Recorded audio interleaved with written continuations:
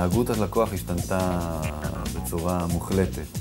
אה, לקוחות עברו לערוצים, בטח לאונליין, כמות השאילתות שלהם באונליין צמחה פלאים מול מה שהיו רגילים בסניף. היום אנחנו רואים ירידה בכמות המידע שהלקוחות פונים לבקש במוקד, ומנגד עלייה לכמות המידע שהם מקבלים אה, במובייל.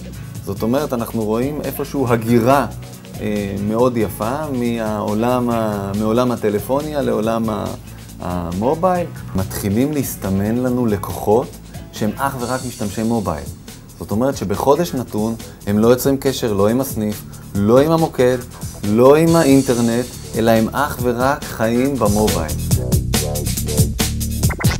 יצאנו עם אה, נושא של אה, מזומן ב-SMS, שזה להעביר כסף והאדם צריך למשוך אותו בכספומט. למעשה הדור הבא עדיין כפוף לאישור בנק ישראל, אני חייב להסתייג, אבל כבר מוכן בפיתוח ומוכן להשקה. אה, זה בעצם העברה ב-SMS, שאני מעביר לך SMS, ואתה עם ה-SMS הזה, גם אם אתה לא לקוח לאומי, יכול לבחור האם אתה הולך ומושך את הכסף בכספומט, או האם אתה מעביר את הכסף הזה לחשבונך. אה, החסם המרכזי היום בביצוע פעולות הוא דווקא נוחות השימוש, ולשם אנחנו הולכים חזק מאוד.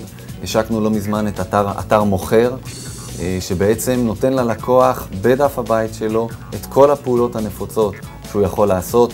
כל הפיתוחים שלנו, גם איי לאומי, הגרסה האחרונה, שמה ללקוח מול העיניים את הפעולות שהוא יכול לעשות, ואנחנו רואים שזה לא התגברות הביטחון, דווקא הנוחות היא זה שמעלה ומקפיצה בעצם מדרגה את אה, כל השימוש בביצוע פעולות באינטרנט. בעולם הזה של הטכנולוגיה, אה, ישראל היא בעצם בקו ישר אה, עם העולם.